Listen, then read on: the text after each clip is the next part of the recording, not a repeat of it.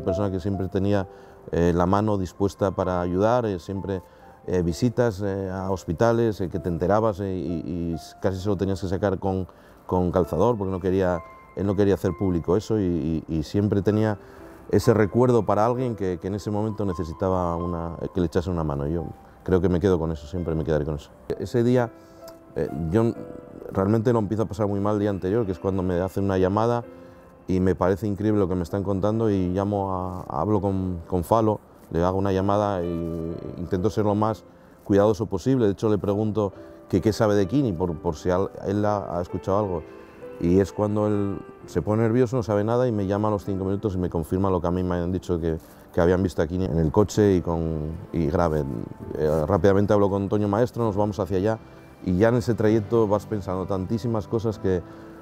que, ves que el vacío que te va a dejar va a ser importante y, yo creo que así lo hemos visto todos y yo creo que los compañeros de consejo, el club, los, eh, entrenadores que estaban con nosotros, yo creo que todos eh, sentimos un vacío porque Kini, esa figura de Kini al lado tuyo estaba siempre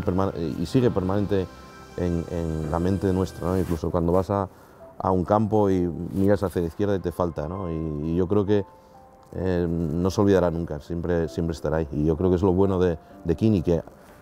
nunca tendrás un recuerdo malo de él. Yo no, no tengo ningún recuerdo de nada negativo que me, que me, haya pasado con él. Bueno, la única cosa quizás es cuando le, pedí que, que diera el paso de, ser representante de,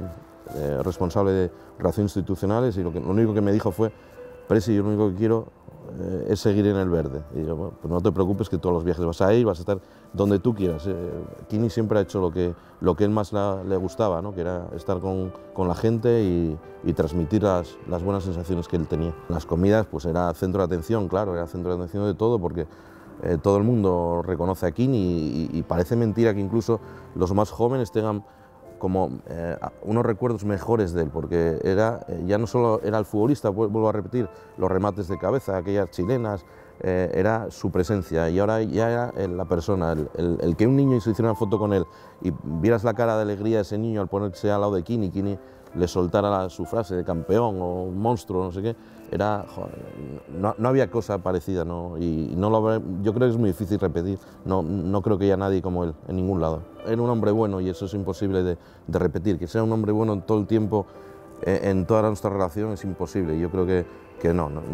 pero es que hasta gentes de otros clubes nos lo dicen, ¿no? que no tienen una persona similar a Kini, porque Kini lo llenaba llenaba todo, y es que lo, ves con los árbitros, ¿no? cuando te hablan de Kini delegado, los premios que ganó como siendo el mejor delegado de, de las categorías de, la liga, ¿no? yo creo que es irrepetible, es, una,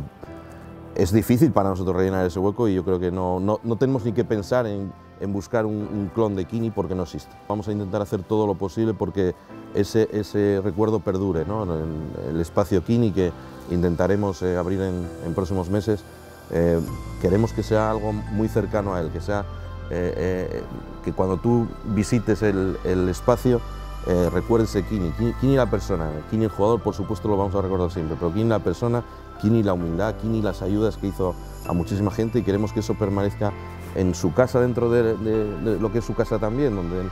él, hizo una trayectoria de, figura. Eh, como demuestra también la Federación Española, yo creo que Kini es patrimonio de todos, no solamente de Sportingistas.